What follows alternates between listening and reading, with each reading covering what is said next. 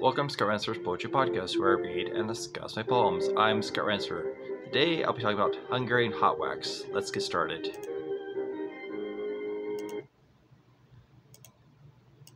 In 2002, I wrote and typed Hungarian hot wax. You can read along me in the description.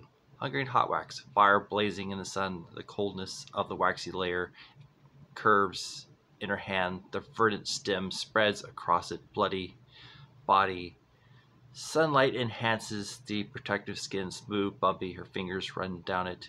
While the waxy layer covers the moist inside, it dances with a sheer glow, the silent grace, the muscles and curve of its body give out a distant sound, the samba. Hungarian hot wax. Yes, it's about a pepper. Now on Amazon, Collect Poems, Volume 2, 2002 through 2005, Kindle, paperback, and hardcover. That brings us to the end of this episode. Hope Hungarian Hot Wax was beneficial to you. As always, thanks for listening to Scott Ransopher's Poetry Podcast.